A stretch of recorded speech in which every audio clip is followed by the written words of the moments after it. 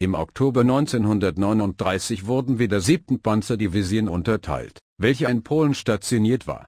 Hier waren Übungen an der Tagesordnung. Den Neusoldat in unseren Reihen nennt man Gerard Hennemann. Zum Anfang des Monats Mai rückten wir zu den Grenzen der Benelux-Länder vor. Finale Vorbereitungen wurden getätigt. Kommandanten und Generäle inspizierten ihre Truppen.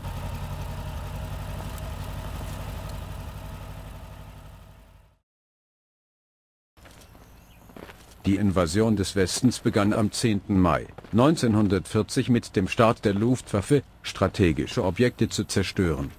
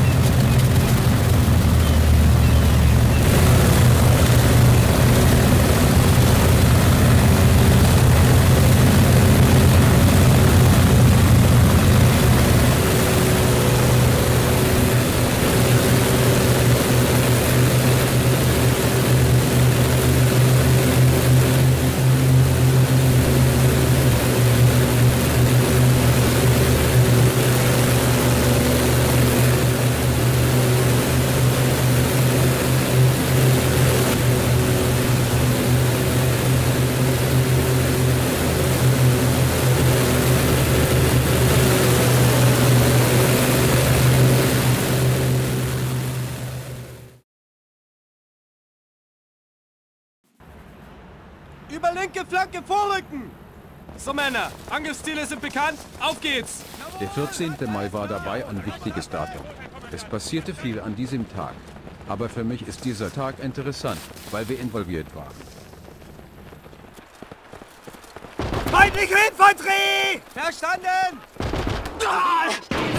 Er braucht Hilfe! Er wurde getroffen! Wir brauchen einen MG-Schützen!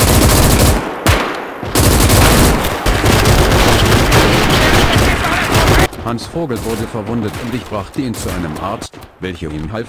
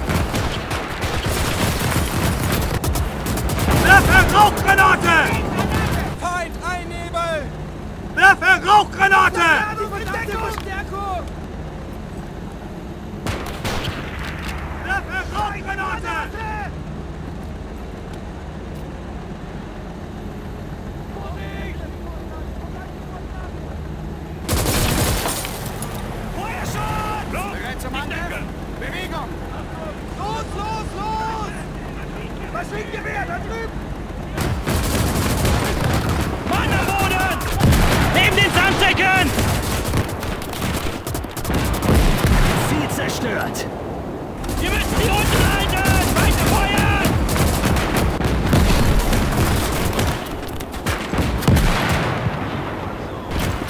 Feindwahl von links!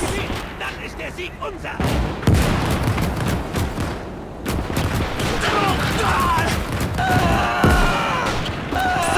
Peter!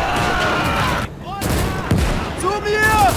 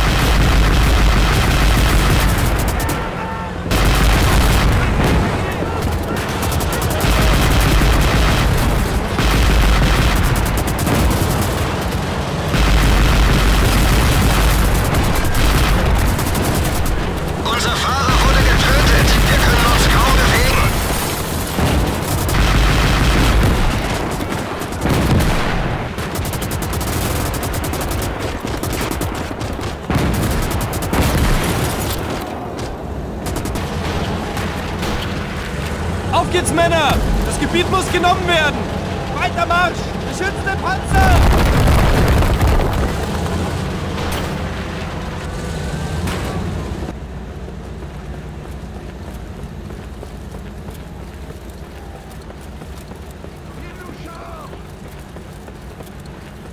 Halt! Halt die Waffe weg! Gib mir Deckung! Ich lade nach!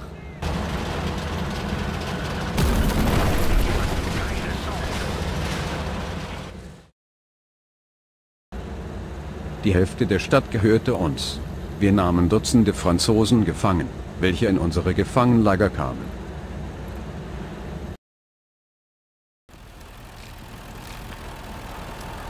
Während der Kämpfe bauten die Franzosen mehrere defensive Positionen in der Nähe der Stadt und bekamen Verstärkung, inklusive Kanonen, und besetzten die Höhe bei der Stadt.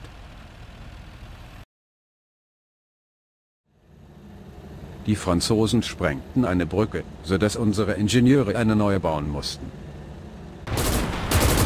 Haltet diese Stellung! Fallfall von rechts! Fallfall von links!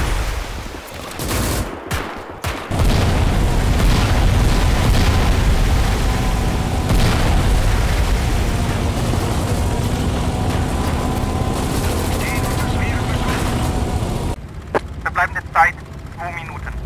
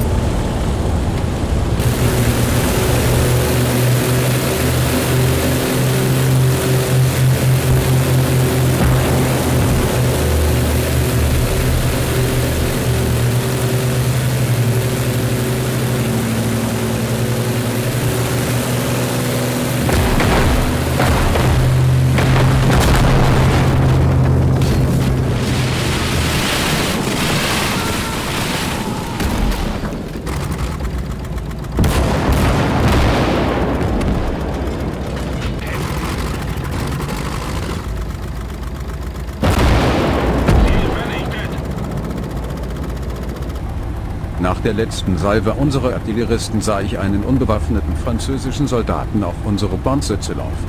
Er handelte die Kapitulation der Soldaten in der Stadt und auf den Anhöhen außerhalb der Stadt aus. Mehrere Dutzend Franzosen ergaben sich uns. Sie kämpften tapfer.